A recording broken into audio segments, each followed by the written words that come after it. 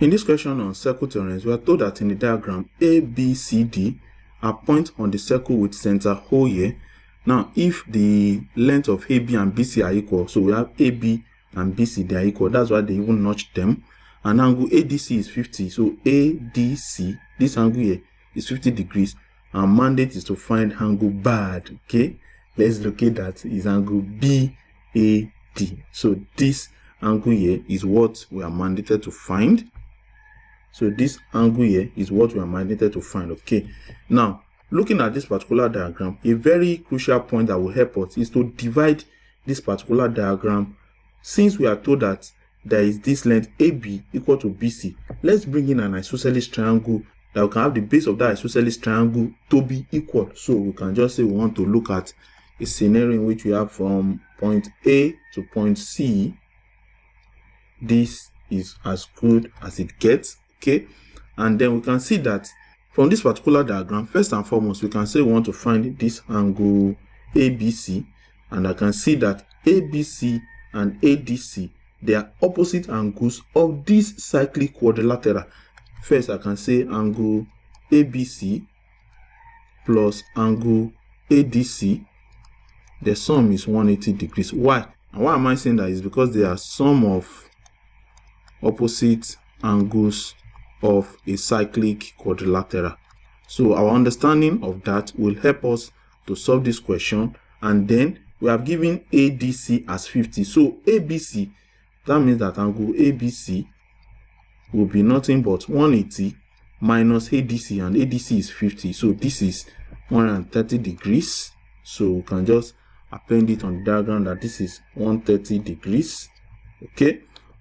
Now that being 130 degrees, I can call this angle here the base angles of the isosceles triangle. If I just call each one of them x, let me say this is this angle here, this is x, and this angle here, they will also be x. And I'm saying both of them are x because they are the base angles of isosceles triangle, meaning that I can say angle BAC is equal to angle BCA, and I'm appending them as x. And I'm saying this because they are base angles of isosceles triangle.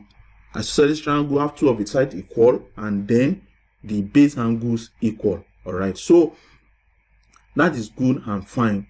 I think I can also look at the triangle ACD or particularly the angle ACD and this angle ACD will be 90 degrees.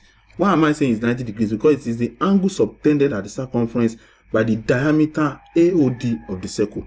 So I can look at this and say angle ACD is nothing but a right angle is 90 degrees and I'm saying that because it is angle subtended at circumference of the circle by the diameter of the circle. So these are all geared towards my getting this particular angle BAD here. So since I have gotten that, I can now say that 130 degrees plus angle X plus angle X. This 130 plus this X plus this X. The three of them, they are the angles of the triangle ABC. And the sum of angles of a triangle is 180 degrees. So I'm postulating this because they are the sum of angles of the triangle ABC. Okay, such that I will have 2x to be 180 minus 130, which is 50. And then x itself will be 50 over 2, and that will be 25 degrees.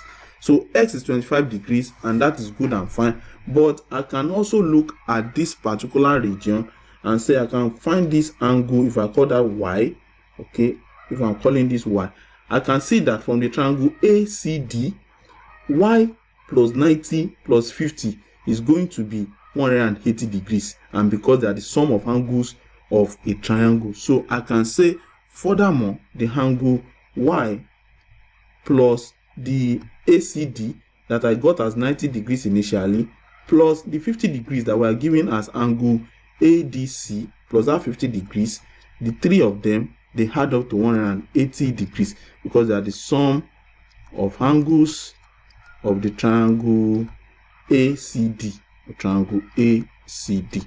And with that, I can find my y to be 180 minus the sum of 90 and 50, that is 140.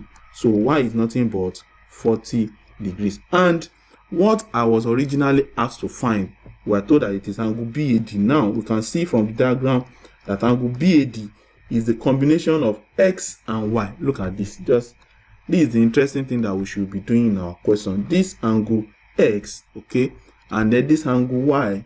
You can see that the two of them are what constitute angle BAD, which we are looking for. So we can easily say the angle BAD is the sum of X and Y. And what is our X? we got x to be 25 so x is 25 degrees what is our y y is 40 degrees so angle bad is nothing but 65 degrees and with that we've been able to solve this question making use of the properties of triangles and the circular quadrilateral and the angles subtended at the circumference by the diameter to get the value of angle BAD as 65 degrees.